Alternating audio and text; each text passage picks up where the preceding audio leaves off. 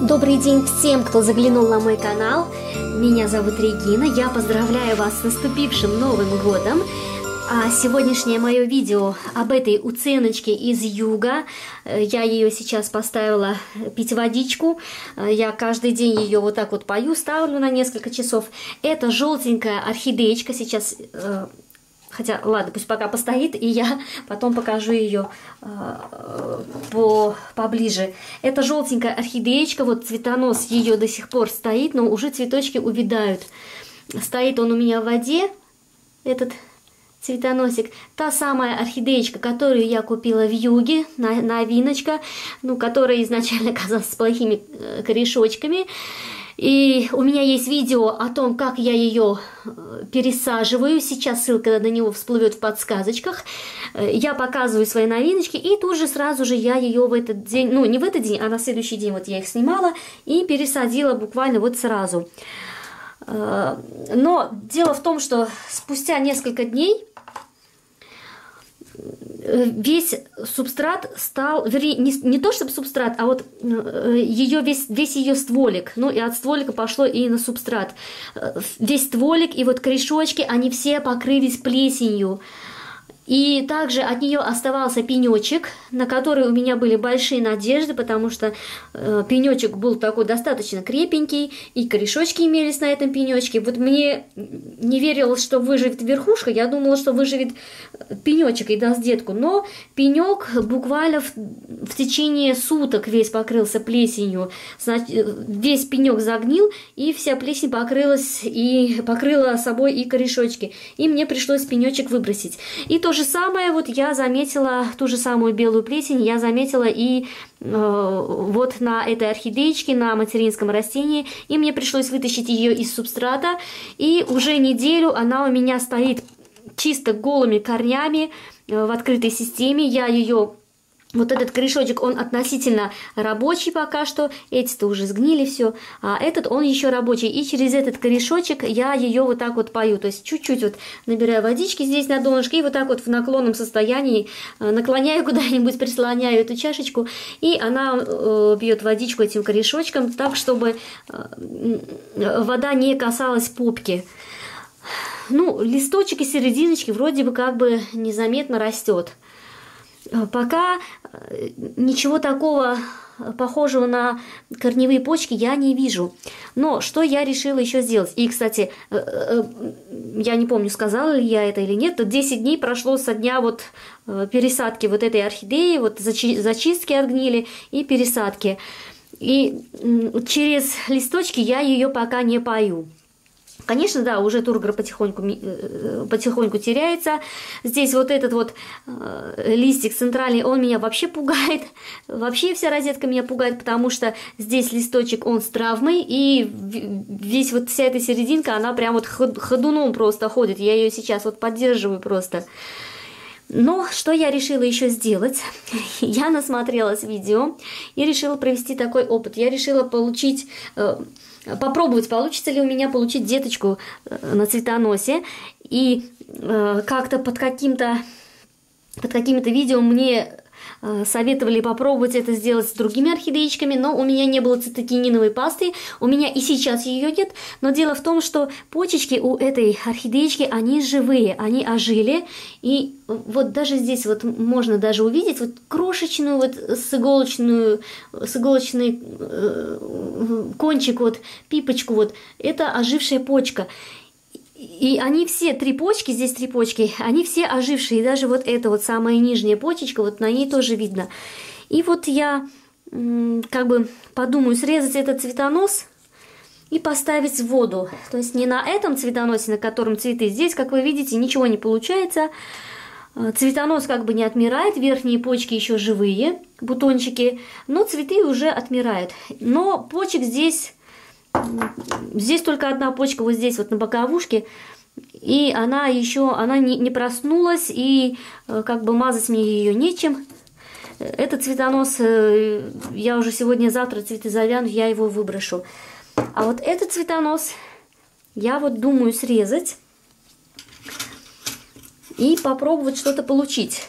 Так как у меня нет стакининовой пасты, но мне повезло, что почки здесь активировались, я не знаю, должны ли быть это цветоносы, или она хотела детковаться, не знаю. Ну, посмотрим, может что-то и получится. У кого-то получается, у кого-то не получается. Э, у кого получается, ну, я э, как бы не стану Э, тыкать пальцем, но то видео, которое я видела с успешным получением детки на цветоносе, к сожалению, к сожалению, я ни в чем не хочу обвинять и не собираюсь обвинять человека ни в коем случае, но там не было видео дневника, то есть там чисто уже показываются срезанные цветоносы и детка по детке на каждом цветоносе, то есть смотришь и не знаешь, э, а, правду говорит человек или э, сочиняет. Э, как бы теоретически я понимаю, что детки с цветоноса питаться нечем. Вот со, срезанным, со срезанным цветоноса нечем питаться.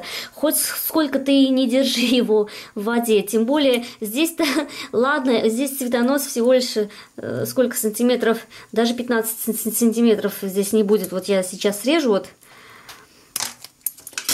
А там цветоносы такие, вот такие. То есть не, не скажешь, что в них питание больше, э, не скажешь, как бы, что э, они больше из воды берут. Ну, в общем, какая-то нестыковка, ну, на мой взгляд. На мой взгляд, нестыковка, честно. Вот это вот мое личное мнение. Ни в чем не обвиняю никого. Но не видя видеодневника, Э, где, в принципе-то, толком-то и не отличишь цветонос один от другого, э, мне как-то в это слабо верится. Ну так вот, попробую я. Советуют сушить сутки, не больше, не меньше, и держать в тепличке. Я сегодня, этот срез, он уже давно подсох, вот этот срез подсушу, Почему советуют сушить не больше суток, потому что пойдет цветонос пойдет сам сохнуть, засыхать, а если меньше суток, тогда он в тепличке пойдет загнивать и плесневеть и портиться. Ну, это все живая ткань, она если он решит э, засыхать, он у меня уже и к вечеру уже весь пожелтеет, а если он решит загнивать, он у меня и э, через неделю и через день в этой тепличке э, загниет. Ну, в общем, подержу, подсушу срез, замажу его углем, корицей, чем-нибудь. Ну, опять же, немножечко мне непонятен еще и такой момент. А, вот подсушила я, вернее не я, а вот подсушивать цветонос, ставить его в воду. Ну как вот, как подсушенная уже омертвевшая ткань, вот, вот эта вот засохшая, каким образом она впитывает воду. Я, конечно, не ботаник, я могу ошибаться в этом. Может быть, действительно он все-таки влагу берет, впитывает, но ну, я всегда полагала, вот мы покупаем цветы, срезанные, срезку цветов, мы подрезаем, мы, мы наоборот освежаем вот этот вот срез, чтобы свежим срезом поставить воду, чтобы свежим срезом свежие ткани э, брали воду из... Э, э, вернее, чтобы свежие... Потому что свежая ткань, она вот только и работает и берет воду. А как это делает вот подсушенная ткань, я понятия не имею. Ну, в общем, вопросов много. А, опять же, никого не обвиняю. Просто а, подумаю, как это сделать самой. Может быть, и не буду подсушивать. Ну, в общем, что надумаю, то покажу. Я решила а, действовать с подручными средствами. Я не стала ничем обрабатывать этот срез и даже, может быть, его еще чуть-чуть вот подрезать. Еще буквально пару миллиметров я его чуть-чуть подрезу, подрежу.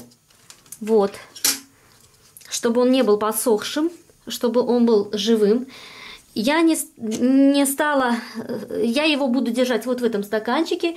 Это обычный пластиковый даже не стаканчик, это емкость откуда-то, от чего-то. Я тут этикетку даже содрала, уже не помню от чего это. И вот так вот на донышке вода. Никакого угля я сюда не кинула, потому что у меня никакого угля нет, не активирован, ничего. Короче, это такой вот чистый эксперимент, абсолютно чистый, без цитокининки, без засушек, без обработок, без угля, без ничего, опыт без ничего. Ставлю этот цветонос сюда воду, Чуть-чуть я сейчас солью эту водичку, потому что почечка получается прям немножечко э, подмокшей. Так, почечку сейчас я вытру ее аккуратненько. Но мне кажется, эта нижняя почечка, она уже не активна. Мне кажется, что она уже подсыхает. Ну, кто знает, может и не подсыхает. Вот, вот так вот. А теперь можно даже чуть-чуть, хотя нет, не надо доливать. Буквально вот из-за того, что цветонос находится под наклоном стоит, или, может быть, его закрепить. Ладно, из-за того, что под наклоном, поэтому есть угроза того, что э, почка будет в воде. Поэтому я э, минимум туда воды положила, э, налила вернее. А сверху никаких бутылок у меня тоже нет, кстати. Э, этот, эту верхушку я подрезать уже не стану. А сверху я просто вот накрою горшочком для орхидеи. Вот самый обыкновенный стандартный горшочек для посадки орхидей э, с дырочками. Без дырочек по бокам, но зато здесь вот очень много дырочек. Вот, вот так вот. Вот такая вот у меня конструкция. Дышащая. Э, одновременно и такой парничок. Иногда буду доливать воду. Э, может быть, каждый день придется доливать, может быть, через день. Не знаю. Ну, вот, вот такая вот конструкция. И ее я напишу. И что это желтый фаленопсис. Э, тоже вот эта маленькая желтенькая миничка. И все. Пусть она вот так вот стоит.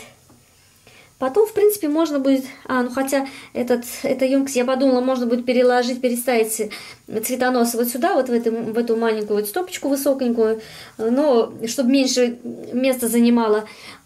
Ну, вот эта чашка-то, она и так просторная, она место занимает даже больше. Ее можно будет чем-нибудь заменить. Но раз он у меня... А, получается такой чистый эксперимент, тогда я и чашку заменять не стану. Все, пока что на этом заканчиваю свое видео. Э, всех еще раз поздравляю с Новым годом. Э, всем вам счастья, здоровья и до новых встреч!